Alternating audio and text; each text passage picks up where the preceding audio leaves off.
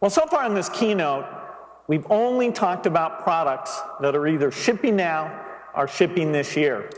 I wanted to close uh, by taking the time frame and moving out a little further and talking about how all of this will change and come together in the years ahead. Think of the home in four or five years. Think of what connected experiences will mean as you get further out. After all, there's some incredible breakthroughs that can make a big difference here. Uh, speech, which we talked about using in the car, you'll use that to interface with your phone and even with your PC. Not replacing the keyboard or touch or pen, uh, but simply complementing those things.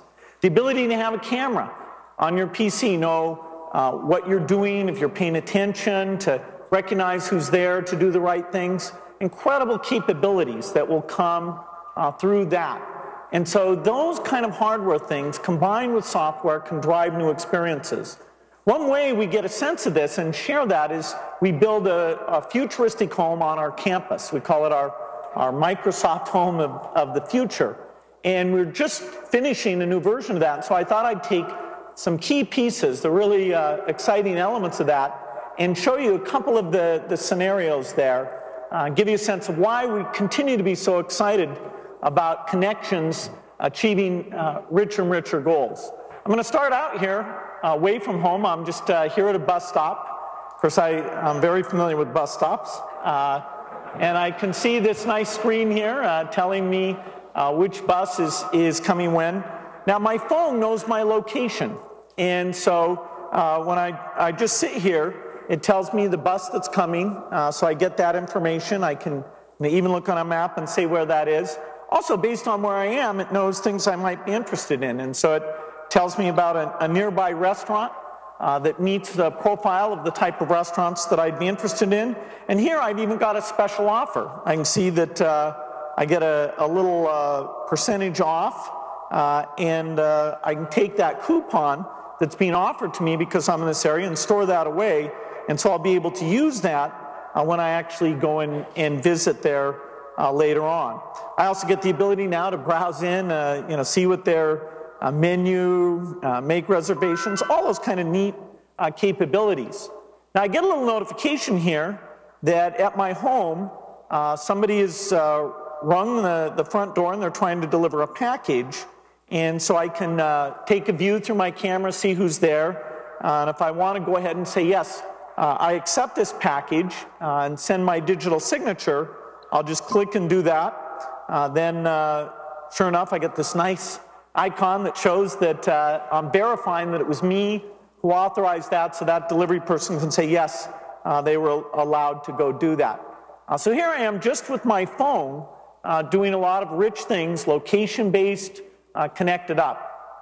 Now let me move to my kitchen.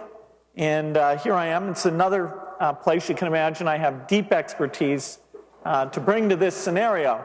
Uh, and, you know, I need help here in the kitchen. Well, what's one of the, the big advances uh, that'll help, that'll uh, make that possible?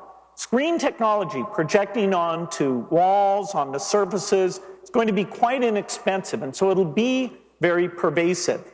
Uh, so this surface, although it's, it's, a it's just a normal surface, we can project onto it. We can use voice to drive this. And so I get the package that was delivered to me, and it was this uh, wonderful uh, little food mixer. And I think, geez, I want to. So I, it notices I put that up there and sees that it, I've never used it before. And uh, uh yes, uh, I would like assistance, and so it brings up some options. Then I've got a little ingredient here. I've got uh, my flour, and it, it notices that with the RFID and brings up recipes that might uh, be appropriate uh, to that. Uh, here I uh, uh, see a couple different choices, and I think, hmm, uh, what are my options? how about healthy? show me what's in recipe two here. Okay, and so now it's even got the full list of ingredients. It's checked off the one that it sees that I've got with the flour there, and so I can go and get the other things. Uh, when I'm ready, I just say, uh, show me the directions, and of course it'll go and display that. It's even nice enough to give me this uh, view of a sense of how big I need to make this as I'm rolling up the dough, and, and so it can even be interactive uh, in, in helping me move along. And it's just a little bit of software uh, in that uh, uh, kitchen environment. Now let me move on uh, to another location. Here I am in a fairly typical bedroom, and I've got this nice mobile PC that I can carry around, lets me control things and, and do things in this bedroom environment. Uh, so when I start out, I see I've got, uh, you know, kind of a cool uh, scene that I picked here. And I can actually pick out uh, a music group that I like, uh, that I browsed and found. And I say, hey, let's take that and select that picture and go ahead and put it up there. And so I can combine different things. This represents, you know, my personality, my room. But of course, it's being done by using this nice display capability uh, that's there on my wall. So if I want to think, hey, let's uh, go get something else, I can click along here and I think, how about that aquarium? That looks pretty good. Uh, let's choose that instead. Uh, of course, it's you know kind of neat. I can learn about the fish or just uh, have that as a, a soothing background. Uh, maybe I want to switch to something else. Let's see what I got hey, this is uh, pretty neat. I've got uh, Racing Sense, and so it's going And This is actually from my Xbox 360 here, so I can uh, go ahead and uh, you know navigate along, uh, play this thing up on the wall. That's pretty cool. It's got uh, the sound and everything. I'm having a lot of fun here in my room doing exactly what I want, but then I notice that, uh, got to remember what's going on today, uh, that uh, my sister's uh, going to pick up grandma, and I realize, okay, I better get things ready. I don't want to just be sitting around like somebody who plays these games all the time. Uh, let me see what type of uh, environment will be like for grandma when she's actually going to come and stay here. It's a little different than what I picked. In fact, I've even got this nice little video camera back at grandma's house and so that's her dog there. And so when she comes, she'll find it uh, neat. She can even, you know, see if her dog's okay and, and uh, watch that.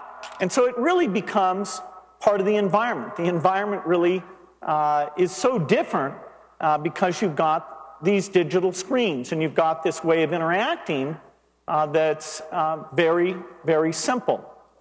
And so the idea of connected experiences can go way beyond what we've got this year.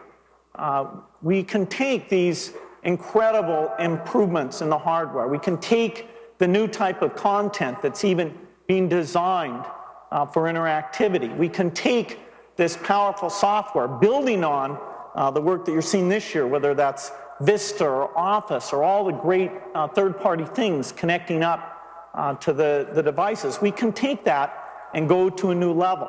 We need a lot of feedback uh, from users. Uh, we need a lot of great research and make the reliability, the security, uh, the simplicity of these things really great. And so that, that means there's a, some fun challenges ahead uh, for the software and hardware business.